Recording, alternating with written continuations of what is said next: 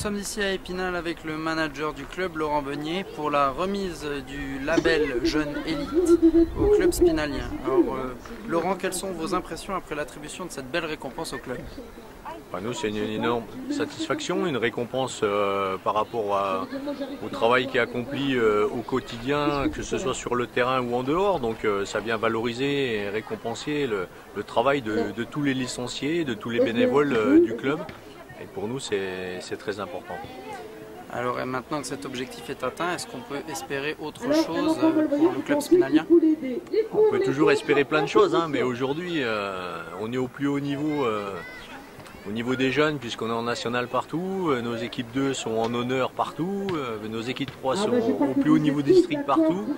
Alors ça veut, ça veut dire aussi qu'il y, a du travail là derrière. Maintenant, on peut toujours travailler euh, différemment, essayer d'améliorer notre fonctionnement. C'est notre volonté hein, d'essayer d'avancer toujours, euh, développer le foot féminin, euh, d'améliorer encore, développer notre section arbitrage. toujours essayer de former pour, bah, pour amener des joueurs en équipe première, voire dans des clubs professionnels puisque régulièrement il y en a toujours trois ou quatre qui, signent tous les ans depuis quelques années.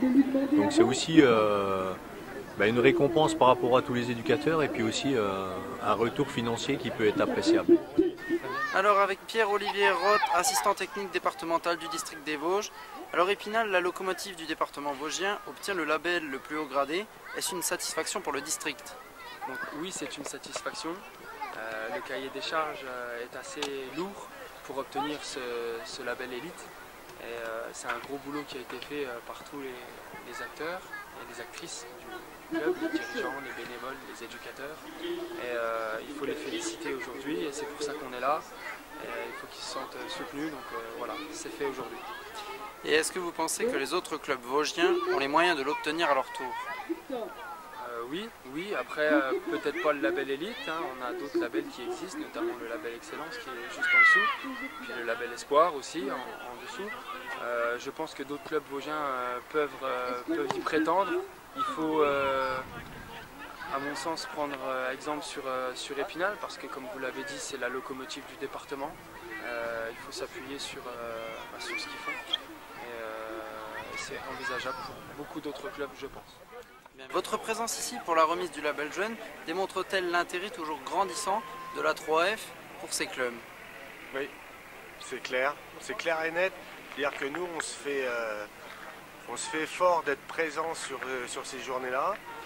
D'abord parce que c'est extrêmement important euh, de, de, témoigner de, notre intérêt euh, à la fois au district, à la fois aux ligues et, au club, que la direction technique nationale souhaite valoriser, souhaite développer ce genre d'opération, parce qu'en termes de, de, développement de la pratique, c'est la pierre angulaire finalement de la structuration des clubs. Et alors pensez-vous que le label jeune est une source de motivation pour ces clubs?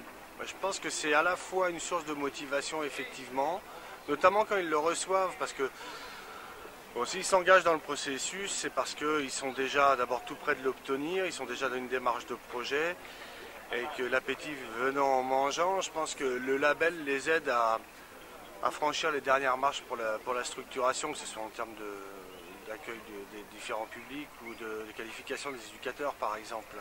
Donc c'est à la fois une motivation avant pour finaliser leur projet, en tout cas l'améliorer, c'est sans doute une motivation après, c'est un bon vecteur de communication euh, pour vendre finalement euh, ce qu'ils font dans le club.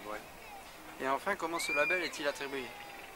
Il est attribué sur pas mal de critères, on l'a vu hein, sur, euh, sur le projet associatif, qu'est-ce qui se passe autour de la pratique du football en termes d'éducation en termes de, projet éducatif, hein, puisqu'on on est sur la base du projet éducatif fédéral par exemple. Très bien. Et puis il y a le projet sportif, hein, qui est extrêmement important aussi en termes de, qualification, d'encadrement des équipes et, et d'accueil des publics euh, mixtes notamment. Très bien, merci pour cet entretien.